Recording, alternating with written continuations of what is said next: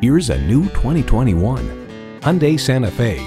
Comfortable for people, spacious for cargo, and styled to lift standards.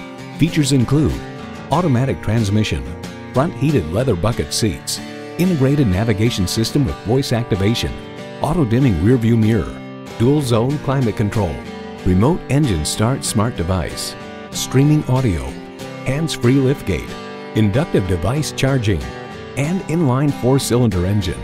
Challenging convention to find a better way. It's the Hyundai way.